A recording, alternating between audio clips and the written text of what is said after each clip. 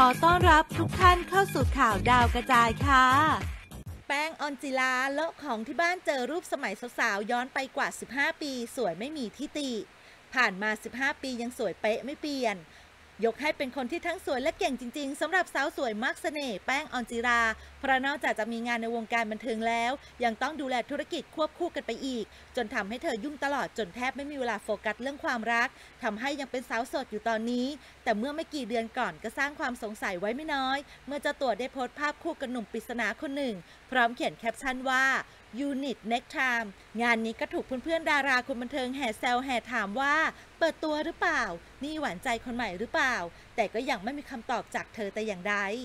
ล่าสุดสาวแป้งก็ได้เผยภาพสมัยสาวๆอ้อๆตั้งแต่เข้าวงการใหม่ๆ จากละครเรื่องเล่ภูมิเลศเมื่อปี 2548 ผ่านมาแล้วกว่า 15 ปี พร้อมแคปชั่นว่า โลบ้านก็จะเจอรูปประมาณนี้ ซึ่งก็แฟนคลับหลายๆคนแห่กดไลค์ คอมเมนต์เรียกร้องอยากเห็นละครจากสาวแป้งอีกครั้ง คิดถึงผลงานเก่าๆ แถมยังบอกอีกด้วยว่าหน้าตาไม่เปลี่ยนเลย แถมยังดูสวยวันสวยคืนอีกด้วย